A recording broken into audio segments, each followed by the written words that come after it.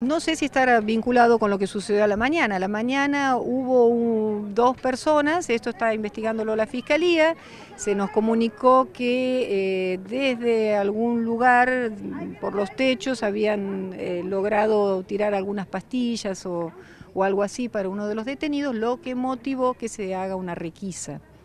Eh, la requisa se hizo con absoluta normalidad, pero como uno de los detenidos eh, tuvo una conducta bastante inapropiada, incluso le arrojó algún objeto al personal policial de la alcaldía. Eh, el juez de control que se encuentra de turno dispuso que se lo traslade al penal de varones porque él ya tiene una condena y ya estaba en condiciones de estar ahí. Aparentemente esto podría haber este, eh, desenlazado esta situación.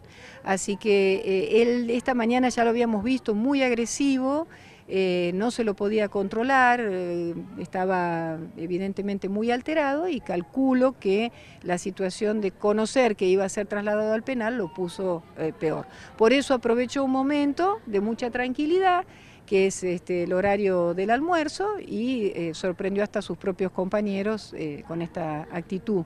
Por supuesto, eh, para despojar al personal policial del arma lo ha herido, el personal policial si bien está bien y está de alta, ha tenido que ser curado porque fue agredido por él.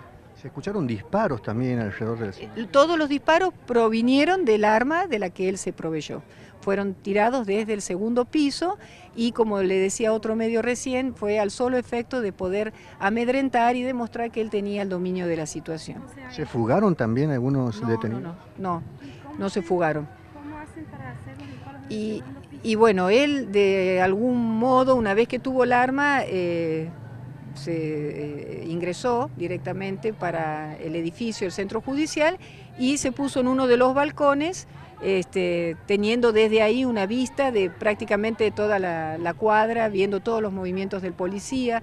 También había trascendido que dos abogados habían sido tomados como rehenes. en realidad no sabría decirle si fueron rehenes o si se mantuvieron dentro del, edificio para poder preservarse pero no, no sabría decirle si realmente fueron rehenes. No, esa información creo que la debe manejar el Ministerio Público Fiscal.